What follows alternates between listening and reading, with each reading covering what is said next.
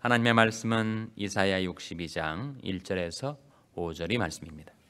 나는 시온의 공의가 빛같이 예루살렘의 구원이 횃불같이 나타나도록 시온을 위하여 잠잠하지 아니하며 예루살렘을 위하여 쉬지 아니할 것인즉 열방이 내 공의를 열왕이 다 내 영광을 볼 것이요 너는 여호와의 입으로 정하실 새 이름으로 일컬음이 될 것이며 너는 또 여호와의 손이 아름다운 면류관 내 하나님의 손에 왕관이 될 것이라 다시는 너를 버리온 자라 칭하지 아니하며 다시는 내 땅을 황무지라 칭하지 아니하고 오직 너를 헵시바라 하며 내 땅을 뷸라라 하리니 이는 여호와께서 너를 기뻐하실 것이며 내 땅이 결혼한 바가 될 것임이라 다 즐기시겠습니다.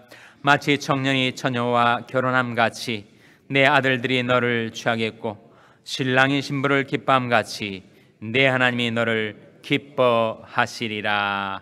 아멘. 할렐루야. 서로의 평강의 복을 기원하는 마음으로 샬롬 인사 나누시기 바랍니다. 샬롬. 샬롬. 오늘도 목요 새벽 기도회 잘 나오셨습니다. 아, 교회 소식 한 가지 전해드립니다. 어제 말씀드렸듯이 박영창 목사님의 장례식이 있어서 제가 참석을 했었어요. 박영창 목사님은 누군가 하면 여러분 가운데 혹시 못 들어보신 분들 위해서 어, 참고로 말씀을 드리면 박관준 장로님의 아드님이셨습니다. 박관준 장로님은 누구신가 하면 아, 우리가 일제 치하에서 어, 고통을 받을 때 특별히 신앙인들은 신사 참배 문제로 많은 핍박을 받았죠. 어, 잘 아시는 바대로 주기철 목사님, 최건능 목사님 이런 분들은 신사 참배를 거부한 까닭에 결국은 옥사를 하시고 말았죠. 순교를 하신 거죠. 그렇게 신사 참배 문제로 어, 핍박을 받을 때 분연이 일어나셔서 어, 안희숙 여사와 아드님 박영창 목사님과 함께 1937년에 일본 국회 의사당에 잠입을 해서 어, 신사참배 거부를 밝히는 투서를 투척하고 일본이 불과 유황불로 심판을 받을 것을 경고를 해서 그 때문에 결국 박관준 장로님은 아, 옥사를 하시게 되고 아드님 아, 박영찬 목사님과 안희숙 여사는 옥고를 치르게 되죠. 그래서 이제 해방이 되면서 어, 그가 자유의 몸이 되고 또 아, 목사가 되고 한국에서 그리고 어, 미국 땅에서도 LA에서 어, 목회를 하시고 또 독립운동을 계속하시면서 어, 항일과 반일을 넘어서서 그 길의 길을 몸소 보여주신 분입니다. 그 장례식이 은혜 가운데 잘 치러졌는데 그 장례식 말미에 아드님 박영남 목사님을 제가 개인적으로 어, 동문이어서 잘 아는 대학과 신학교 동문이어서 아는 목사님이신데 뭐 어, 아버님 목사님 100세로 돌아가셨으니까 아들 목사님이 연세가 어느 정도 될지 예, 좀 감이 잡히지 않습니까? 70이 예, 넘으신 목사님이신데 그렇게 자기 아버지에 대해서 어, 추모를 하시더라고요. 자기 아버지의 호가 두 가지였다. 아, 보통은 월광으로 알려져 있는데 월광이 무슨 뜻이죠? 예, 달빛 아닙니까? 자기는 아, 햇빛 되시는 하나님의 빛을 이 세상에 반사시키는 달빛으로 반사체로 어, 그렇게 살아간다. 그런 의미가 아니겠는가? 저 개인적으로 짐작을 해봤습니다. 그래서 아주 그 호를 좋아하셨대요. 부드러운 달빛처럼 온화한 미소를 머금고 그 만난을 극복해 오신 아, 한 신앙인의 모습을 떠올리게 하죠. 또 다른 아, 호가 있었다. 그걸 소개를 하더라고요. 인상, 인상적이었습니다. 자, 이번에는 월광 말고 또 다른 하나는 호가 있었는데 에, 다름 아닌 철주였었다. 좀 촌스럽지 않습니까? 철주. 근데 의미가 아주 심장해요. 철주란 뜻이 예, 쇠기둥이란 말입니다. 쇠기둥. 무쇠철자에 기둥주자 철 철주. 정말 아, 제가 그분이 예, 자서전과 같은 책들을 읽어 보았지만 아, 그분은 쇠기둥과 같은 그런 신앙인이었어요. 얼마나 많은 아, 인생의 어려운 세파들을 끄떡하지 않고 헤쳐오신 쇠기둥과 같은 신앙인의 모습을 보여주신 것 같습니다. 아드님은 그 소개를 안 했지만 그 철주라는 호가 사실은 성경에서 나온 것임을 여러분 아십니까? 철주. 누구한테 하나님께서 철주라는 그런 별명을 붙여 주셨죠? 누구였습니까? 에? 예레미야 선지 아니었어요? 예레미야 1장에 보면 하나님께서 그 연약한 소년과 같아서 나는 말도 못합니다 하고 하나님의 부르심을 사양하려 했던 예레미야를 향하여 이렇게 말씀하십니다. 내가 너를 이 백성 앞에서 견고한 성읍, 세기둥, 노성벽이 되게 하리라. 거기 세기둥이 나와요. 이게 철주 아닙니까?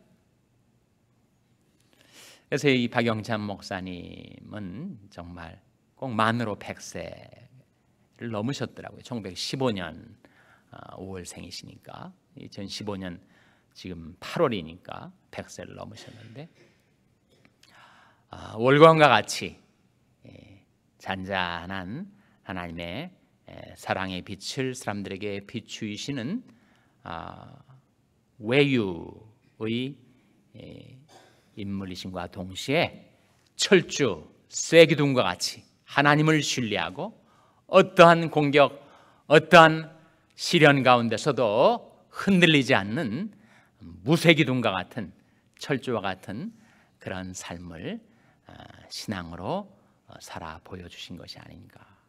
이 흔히 말하는 외유내강 아니겠습니까? 바깥으로는 달빛과 같이 부드럽지만 아, 내적으로는 쇠기둥과 같이 견고한 아, 그런 신앙인이 한 모습을 볼 수가 있었어요. 그분이 100세를 사셨고 사모님과 76년을 사셨습니다. 작년에 백수연과 결혼 75주년 기념을 함께 할 때 제가 거기 참석을 한 적이 있었는데 보통 사람 75세 살기도 어려운데 부인과 76년을 사셨으니 참 대단한 일 아니에요? 사모님이 돌아가시고 나서 2주 만에 따라가셨어요. 그러니까 두 분이 한 분이 100세, 한 분은 95세로 기억을 하는데 2주 상관으로 그렇게 하늘나라 가셨습니다. 한 신앙인의 그 아름다운 아, 떠나가시는 모습을 보면서 정말 나도 그렇게 월광처럼 부드럽고 철주처럼 아, 견고하고 그런 아, 인생을 살 수 있으면 얼마나 좋겠는가 아주 부러운 마음 어, 갖게 되었습니다. 아드님이 하는 말이 76년을 함께 사셨는데 그 목사님과 사모님이 항상 서로 사랑하고 그렇게 좋아만 하셨는가 티격태격 많이 하셨다고 하더라고요. 네. 하여튼 뭐 결혼 생활이 그런 모양입니다. 티격태격 하시면서도 아, 그렇게 서로 오손도손 행복하게 76년을 사셨으니까 아, 대단한 사건이 아닐 수가 없습니다. 거기까지만 하도록 하겠습니다. 그 얘기 계속 할 수는 없겠죠. 예. 하나님 말씀 1절 어, 같이 읽겠습니다. 이사야 62장 1절 말씀 같이 읽겠습니다. 시작. 나는 시온의 공의가 빛같이 예루살렘의 구원이 횃불같이 나타나도록 시온을 위하여 잠잠하지 아니하며 예루살렘을 위하여 쉬지 아니할 것인즉 이 말씀에 나오는 나는 누굴까요? 1차적으로 우리는 이사야 선자를 생각할 수가 있죠.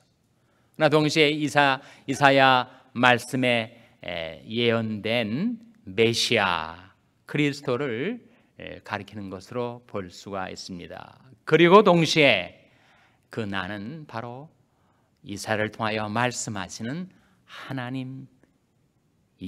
그래서 나는 시온이 공의가 빛같이 예루살렘의 구원이 횃불같이 나타나도록 시온을 위하여 잠잠하지 아니하며 예루살렘을 위하여 뭐하지 아니할 것이라 했습니까?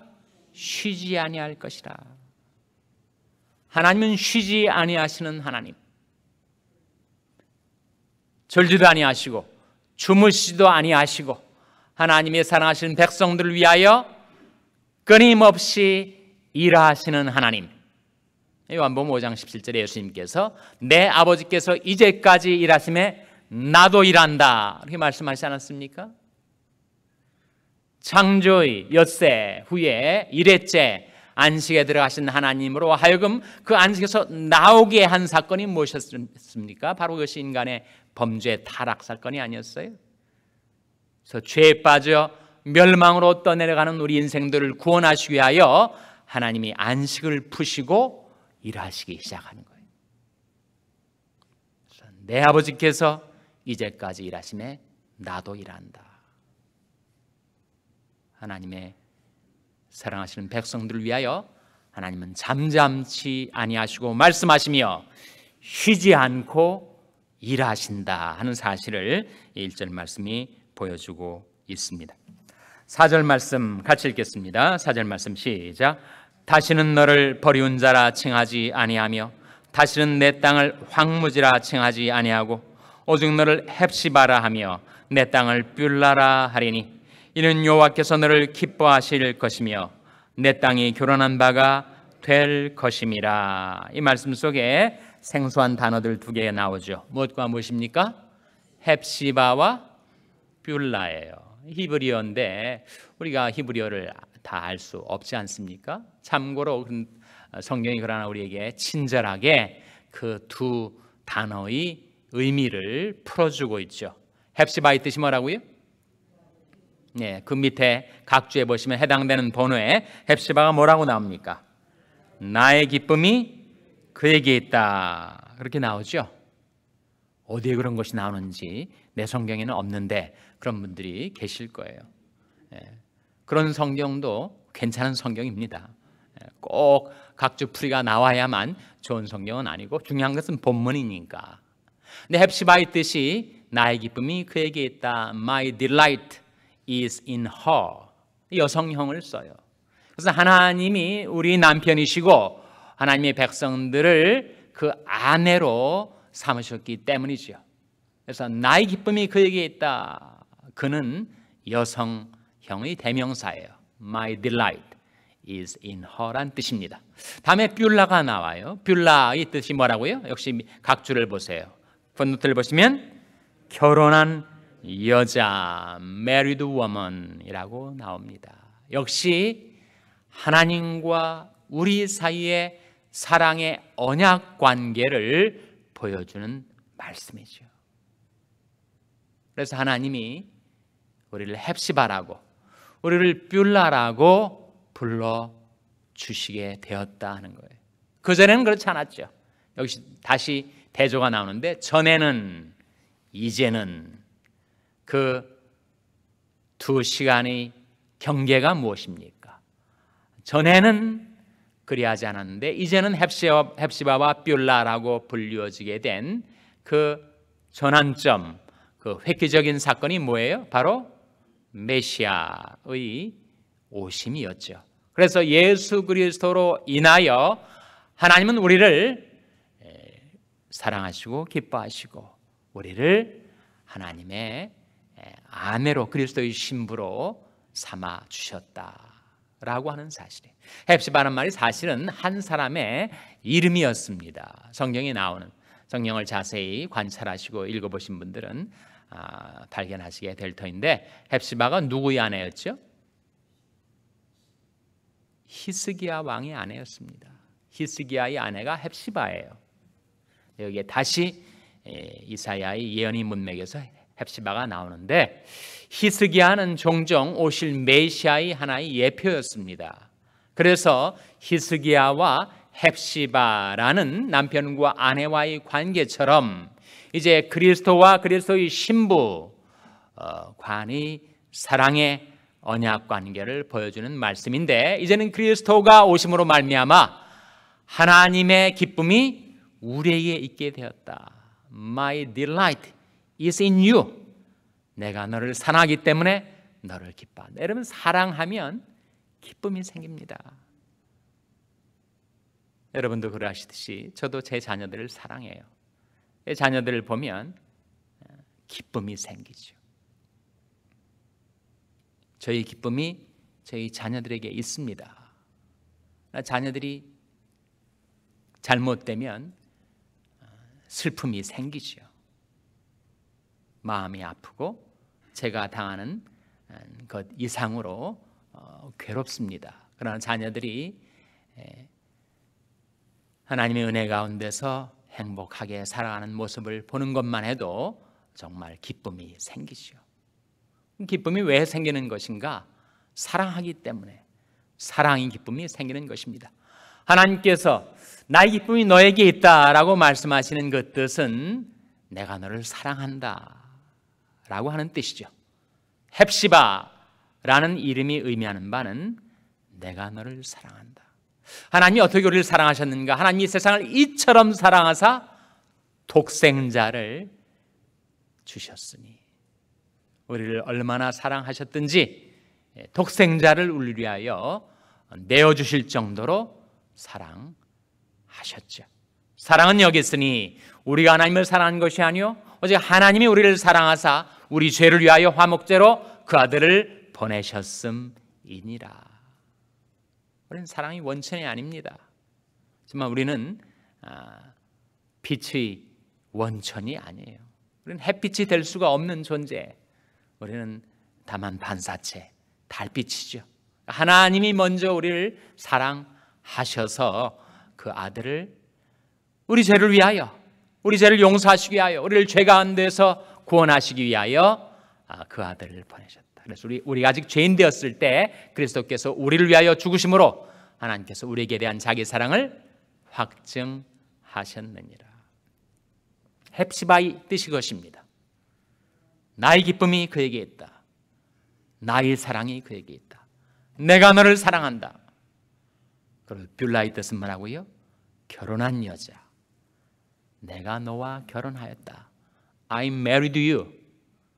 그것이 뷰라의 의미입니다. 그래서 우리가 전에는 죄 때문에 잃어버린 영혼, 버리운 자가 되었었으나 이제는 그리스도로 말미암아 우리가 헵시바가 되어서 하나님의 사랑과 기쁨이 우리에게 있고 그리고 이제는 우리가 버리운 자가 아닌 하나님께 택함 받은 하나님이 사랑하시고 존귀하게 여기시는 결혼한 신분을 갖게 된 하나님의 백성이 되었다는 거예요. 그런 사랑, 그런 기쁨을 받은 우리들이 어떻게 살아가야 할 것인가? 이제는 돌이켜 나도 하나님을 사랑하고 그리고 나도 하나님을 사랑하는 까닭에 하나님을 사랑하는 기쁨 어, 누리며 살라고 우리를 그렇게 변화시켜 주신 것이죠. 예수를 너희가 보지 못하였으나 사랑하는도다. 이제도 보지 못하나 믿고 말할 수 없는 영광스러운 즐거움으로 기뻐하니 믿음의 결국 곧 영혼의 구원을 받음이라. 우리가 불렀던 찬송가 82장처럼 나의 사랑하는 그리고 나의 사모하는 선한 목자는 어디가 계신가? 주의 백성들과 함께 사랑과 기쁨을 나누시며 계신 우리 주님을 우리가 주님께 받은 대로 우리도 주님을 사랑하고 주님을 기뻐하며 살아가시는 저 여러분 될 수 있기를 주님의 이름으로 축원합니다. 기도하시겠습니다. 오늘 말씀 기억하며 하나님 저희들이 먼저 하나님께 받은 그 사랑과 기쁨을 저희들도 하나님께 드리며 살게 주시옵소서 기도하시기 바랍니다. 우리 자녀들 위해서 기도할 때 하나님 저희 자녀들이 하나님의 사랑과 기쁨이 되게 주시옵소서. 기도하시기 바랍니다. 병사의 연약한 지체들을 위해서 기도하실 때 하나님께서 긍휼과 권능의 손으로 고쳐 주시고 일으켜 주시옵소서. 위하여 기도해 주시기 바랍니다. 우리 샬롬 교회를 위해서 기도하실 때 제대에 사모하는 목자 되시는 주님, 저희 샬롬 교회와 항상 함께하여 주시고 주님의 사랑과 기쁨이 되는 교회가 되게 주시옵소서. 위하여 기도해 주시기 바랍니다. 여러분의 생업을 위해서 기도하시고 New Hope Mission의 조성도 목사님을 위해서 기도해 주시기 바랍니다. 하나님, 저희들을 성령으로 충만케 하셔서 하나님의 사랑과 기쁨이 되게 하여 주시옵소서. 제목들로 우리 합심해서 기도하겠습니다.